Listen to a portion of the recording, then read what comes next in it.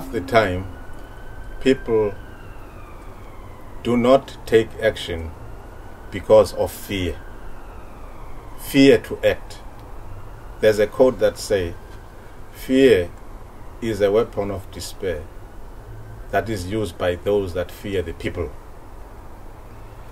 We need to believe as people that we have it in us to make a change, to make a difference in life. If you don't do anything, the chances are that nothing will be done. So the power is in with you to make a difference, to make that first step, to realize that if I do this, there will be a change. If we all do one thing together and unite, we will be able to achieve the best things in this world and change the world to be a better place for all.